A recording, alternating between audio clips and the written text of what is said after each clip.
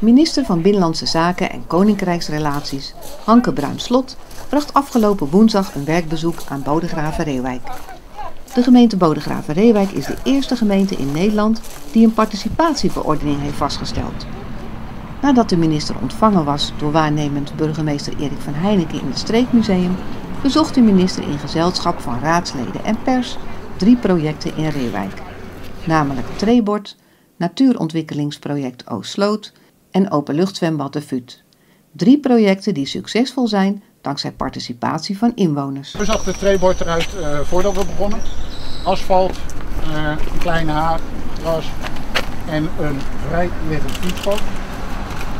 En in het veranderen van de interne opdracht van 30 naar 50 is ook de inrichting veranderd natuurlijk. Want bij een 30 ga je met z'n allen. Dit was een bed waar je aardig uh, het gaspedaal kon indrukken. En ik kan ja. me zomaar indenken dat er jonge mensen zijn. Ook naar het zwembad dat mensen de straat oversteken. Dus dat dat echt wel uh, ja, een beetje een spannend moment is uh, als je gewoon een stuk asfalt hebt waarbij je flink gas mag geven. Klopt. Het, Dieter zat niet zelf in de werkgroep, maar het zwembad zat ook in de werkgroep, omdat hij natuurlijk als ja. uh, nou, een belangrijke speler eraan zit.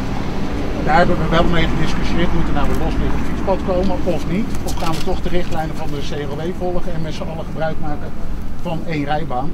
Nou, je ziet het resultaat, we maken nu toch met z'n allen gebruik van één rijbaan.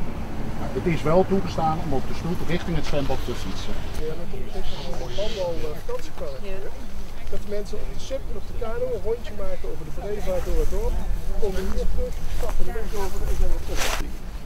De gemeente had nog een ander belang, is dat zij water moesten compenseren voor plekken waar water gedempt was in verband met nieuwbouw. De bewoners zeiden van ja, maar dan willen we er ook natuur van maken. En uiteindelijk was dat perceel de boomkwekerij en ja. dat perceel was van de gemeente. En uiteindelijk hebben we gezegd, nou weet je wat, ja. Wij maken water, we kopen het ook, we betalen het ook. We gaan dan ruilen met de gemeente en dan maken we er ook natuur van. En dan willen we het ook zo vasthouden als natuur. Dat is een beetje de aanleiding dat dan ooit weiland was, maar nu niet meer. Mm -hmm. En nu water is geworden. Dus het is daar ook nog gewoon echt uitgegraven? Ja, of, uh... tot 2,5 meter diep. 2,5 meter ja. diep? Zo! En dat is wel heel veel kuub geweest.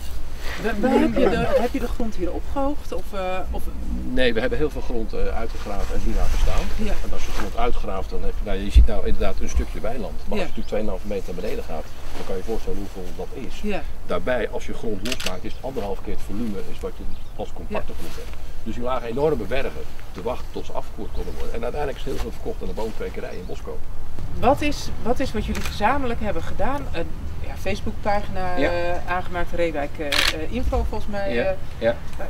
Wat, wat was uiteindelijk het belangrijkste om even dat, dat extra zetje te geven dat iedereen zoiets had van ja, maar nu gaan we. Het was een appel op als je dit wil, moet je meedoen. Ja. That's it. Dus als jij zegt, nou, voor mij hoeft het zwembad niet. Eerlijk. Maar er waren dus genoeg mensen die zeiden, maar ja, nee, dat vinden we wel belangrijk. En hoe is, het, uh, hoe is de samenwerking nu met de gemeente? Uh, die is, uh, hebben jullie elkaar nodig? Waar nou, hebben jullie elkaar voor nodig? Hoe gaat dat? Ik heb mij laten influisteren door iemand die ook met, met gemeentes werkt en ook vrijwilligersbaden ging ondersteunen. En die heeft mij verteld, een gemeente is geen pinautomaat. Hm. Dus dat was mijn tweede angel die ik in mijn presentatie eruit heb gehaald. En uh, naar alle eerlijkheid uh, hebben we, de gemeente is eigenlijk... Sorry, ja. Toen de tijd was de, mijn dialoog met Dirk-Jan Knol, Kijk, nu mijn ja, collega binnen het CDA. Ja, ja, ja. Maar uh, we, de, de, grond is van de gemeente. Dus wij moeten wel. Wij rapporteren, we hebben een gezonde boekhouding. En daarin zit eigenlijk een constructief overleg. Dus als er wat nodig is, nogmaals, kijk ik veel liever naar de ondernemers. Mm -hmm. Want u ziet al het houtwerk wat hier is. Ja. We hebben hier in Reewijk Hogendoornhout. Die heeft gezegd, mijn kinderen zwemmen hier. Ik wil alleen maar weten voor het voorraadbeheer wat jullie halen. Maar de VUUT heeft vrij, een vrijbrief. Dus wij kunnen gewoon hout halen. Ja. Er zitten timmermannen die bekijken de beschoeiing, die, bekijken, die halen het hout. Dan kan ik ook zeggen, hé, hey, dat hout is verrot. Uh, ja, voor 5000 euro. in de verf. Het zit heel goed in de verf, want oude ja. schilders die vroeger schilder waren, die zorgen daarvoor. Ja. Dus dan ga ik niet naar de gemeente ik heb nog 5000 euro nodig. We gaan eens kijken wat de gemeenschap kan doen. Dus ik probeer het eigenlijk zo, het bestuur, zo gezond mogelijk te maken. Ook in de relatie met de gemeente. Ja.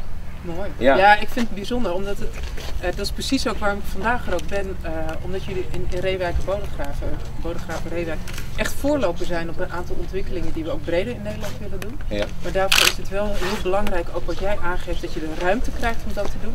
Dat er wel ondersteuning nodig is als dat, uh, nou ja, als dat gewoon ook van belang is. Ja.